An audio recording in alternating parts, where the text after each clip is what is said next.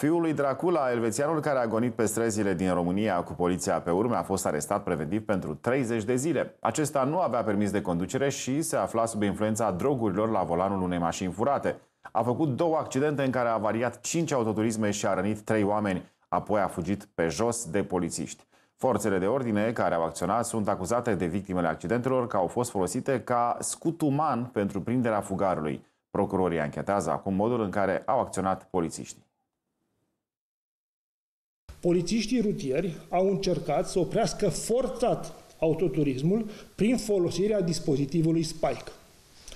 Din păcate, din cauza configurației drumului public, dispozitivul a putut fi ocolit.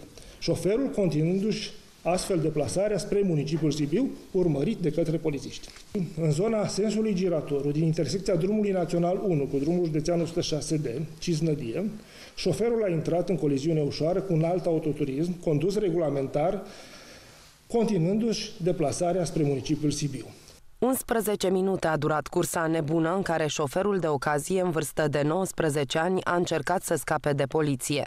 Totul s-a petrecut pe drumul național 1 înainte de intrarea în Sibiu. Mai multe echipaje l-au așteptat în primul sens giratoriu înainte de oraș, însă fără succes.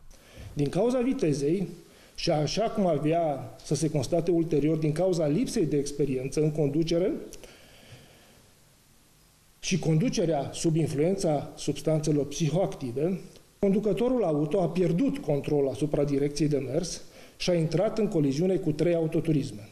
Un al patrulea autoturism fiind avariat de bucăți metalice nici aici nu s-a oprit cursa. După ce a lovit autoturismele, acesta a mai mers 200 de metri cu mașina avariată. Apoi a coborât și a început să alerge cât îl țineau picioarele. Fugarul fără permis a fost prins ulterior pe o stradă din localitatea Schellimber. Testele de laborator au arătat că elvețianul consumase cannabis.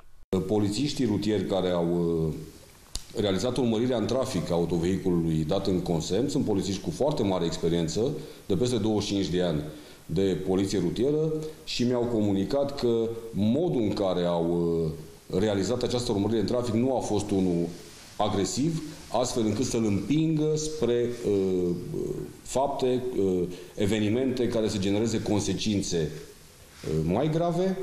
Din potrivă, au comunicat în permanență este anchetă la poliția din Sibiu din cauza modului în care cei opt agenți l-au capturat pe tânăr. În urma celor două accidente, cinci mașini au fost avariate, iar trei persoane au fost rănite. Victimele coliziunilor acuză că au fost folosite ca scut în operațiunea pe care oamenii legii au numit-o năvodul. Conducerea inspectoratului susține că polițiștii au acționat ca la carte și au încercat să minimizeze pagubele.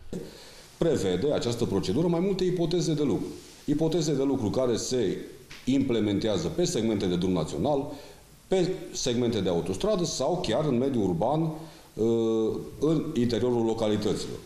Și uh, sunt uh, măsuri care se implementează inclusiv cu uh, oprirea în trafic a uh, altor autovehicule, dar vreau să fac o precizare foarte importantă, sub nicio formă și în nicio împrejurare nu s-au folosit, după cum se vehiculează în spațiu public, alte autovehicule, alți participanți la trafic ca scuturi pentru uh, a genera oprirea în trafic a, un, a autorilor uh, unor uh, infracțiuni.